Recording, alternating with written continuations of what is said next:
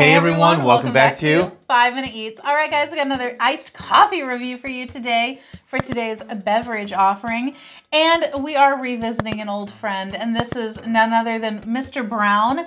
This is Mr. Brown's macadamia nut iced coffee. We have tried several of his drinks. He has almost never let us down. He's never let me down. He let you down once. But generally, we like his stuff. So definitely check those out in the archives if you're interested. And this one, I gotta say, best can, right? Yeah, the packaging is very interesting. It's very colorful yeah. compared to his other stuff because it looks like it's very tropical and mm -hmm.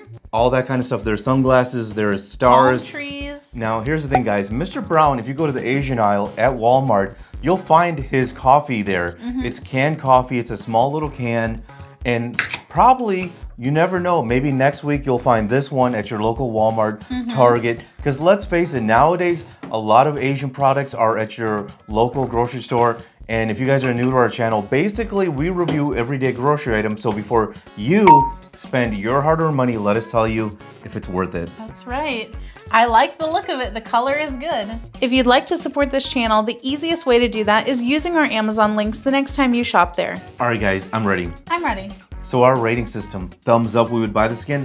Thumbs down, we would not. So for me, guys, this is a thumbs up. And the reason is this reminds me of a mocha coffee. Hmm. And it's not too sweet, it's refreshing, and I like the portion size with Mr. Brown. And so for all those reasons, thumbs up. Wow, okay. So for me, this one is gonna be, and I've been going back and forth in my mind this whole time. It's gonna be a thumbs up. I like it. It's weird though. Like whenever I took the first sip, I was like, what is this exactly? Like it has an interesting flavor. Would I call it macadamia nut? I don't know if I would. I don't think so. And it also has almost a little bit of like an earthy taste to it, to the coffee itself, which we've had with some of these like um, overseas coffees. But as I drank more of it, the more I liked it. So it is good.